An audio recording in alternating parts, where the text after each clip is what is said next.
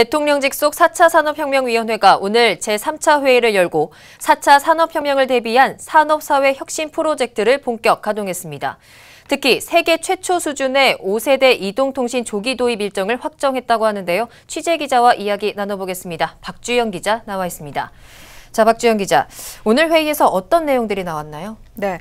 오늘 논의한 안건들 같은 경우는 이 지난달 21개 부처가 합동으로 발표한 혁신 성장을 위한 사람 중심의 4차 산업혁명 대응 계획을 중점으로 해서 추진 과제별 세부 추진 전략을 이야기한 것입니다. 네. 우선 이 4차 산업혁명 시대를 대비해서 핵심 인프라 조성 차원에서 지능형 네트워크 구축 방안과 같은 2020 신산업생활 주파수 공급 계획이 다뤄졌고요. 또 드론 산업 기반의 구축 방안과 함께 스마트 공항 종합 계획 그리고 창의 융합형 인재 성장 지원을 위한 발명 교육 확산 방안 등이 제시되는 음. 모습이었습니다. 뭐 산업적으로 좀 살펴본다면 5세대 이동통신에 좀 방점이 찍혀 있는 것 같은데 구체적인 보관들도 나왔습니까? 네, 그렇습니다. 가장 중요한 것이 이제 차세대 주파수 경매일 텐데요. 네. 예, 과기정통부 같은 경우는 차세대 이동통 신망인 이 5G 이동통신 구축 전략과 함께 로드맵을 제시를 음, 했습니다. 네. 그래서 지금 SK텔레콤과 KT 그리고 LG U+플러스 등과 같은 이 통신 사업자들이 최대한 빨리 네트워크 구축에 착수할 기반을 마련을 해주기로 했고요.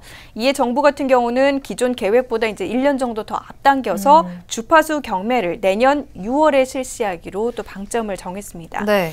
예, 특히 통신 사업자의 투자 유인을 높이고 신규 서비스가 시장에 조기적으로 안착할 수 있도록 5G용 주파수에 적합하게 주파수 할당 대가 산정 기준도 개정할 계획이고요.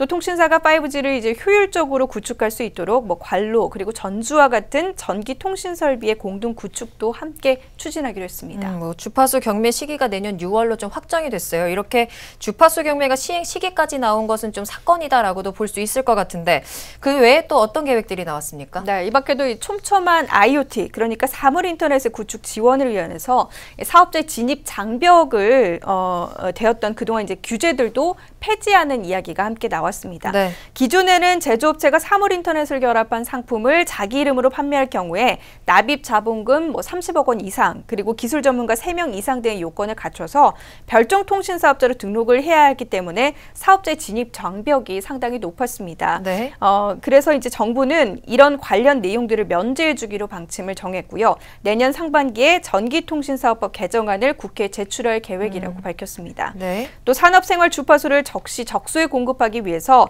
2020 신산업 생활 주파수 공급 계획도 함께 세웠는데요. 이를 위해서 일단 과기정통부는 뭐 자동차 충돌 방지 센서 그리고 전기차의 무선 충전, 어, 택배용 드론 등의 신산업과 크레인 충돌 방지, 산업용 IoT망 등 여러 가지 스마트 공장 분야에서 관련 규제를 풀어주기로 함께 이야기를 했습니다.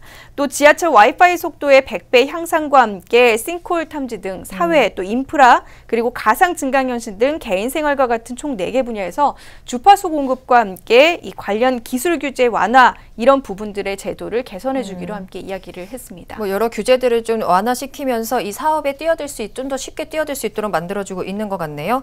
자, 그와 함께 또 드론에 관련된 내용들도 나왔습니다. 뭐 그동안 이 분야에 대해서 규제가 많았던 것으로 알고 있는데 어떤 방안들이 좀 나오고 있나요? 네, 드론 산업 기반을 구축하기 위한 방안 같은 경우에는 관계부처 합동으로 마련이 됩니다. 네. 어, 인력 양성을 통한 드론 산업 생태계 조성과 함께 미래형 개인 비행체 기술 개발 그리고 시장 창출 지원과 함께 글로벌 수준의 인프라 구축 또 안전한 운영 환경 조성 등을 추진하는 것이 과제가 되겠는데요. 네. 장병규 4차 4차 산업혁명위원회 위원장 같은 경우는 아, 내년에는 구체화된 정책을 통해서 국민들이 모두 체감할 수 있는 실질적인 변화가 나타날 수 있도록 4차 위가 민관 협력 채널로 어, 기능할 수 있도록 주력을 다하겠다라고 밝혔고요.